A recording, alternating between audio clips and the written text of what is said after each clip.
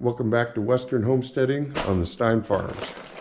After work today, we got us a project to put in an automatic flock feeder water. Excuse me. It's an easy clean water bowl. It's designed for pets, dogs, but when you have a mixed flock, you have to be able to give your waterfowl something to dunk their heads in. And you have to be able to do it while you're away. So I got two rain barrels.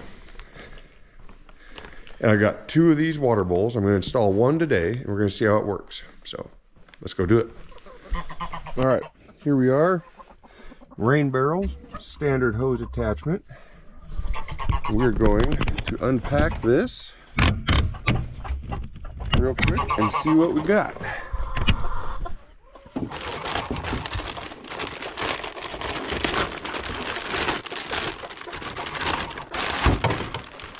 I went with this water bowl because to clean it, it folds up out of the way. No edges you can't reach. I got a square one I'll show you inside. It doesn't work as good. Here's your float adjustment. Just pops back in when you're done cleaning it. I think it's gonna work really good.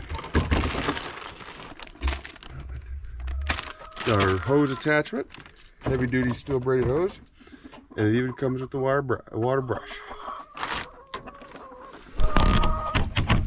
Let's get it done.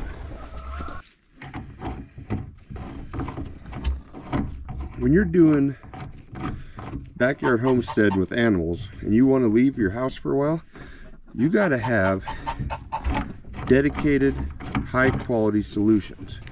I heard somebody say once that if you have animals, you can expect them to die when you leave your house. And I think that's cop off. Because I'm going to put in two independent water systems with plenty of feed options. It's your job as a good person practicing animal husbandry to make sure that doesn't happen when you're away. And that's why you get heavy duty pre-made solutions if you're not going to be here every day to watch your animals. So this is what I had last year. As you can see, it's still kind of down here from over winter, but the square corners of it make it really hard to keep clean. So we're gonna go ahead and set up the new one. I had to lock Chicken Noodle the rooster out of the coop because he thought it would be funny to try to be frisky and attack me.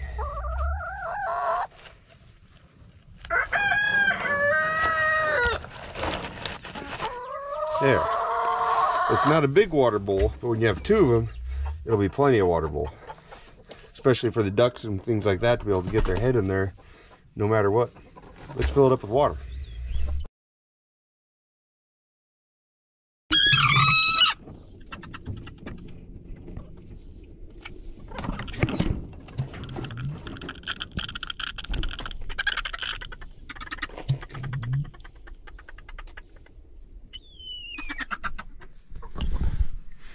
So we can see it's slowly starting to fill up. We'll give it a little minute, see if it fills up. It doesn't have to fill real fast. It just has to have enough head pressure to keep it full.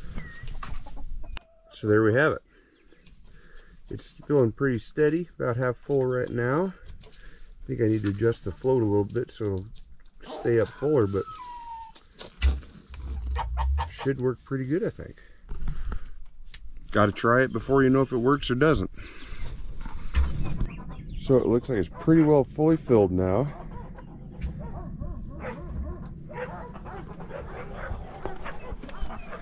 And the birds are scared of me so they don't come over and look at it, but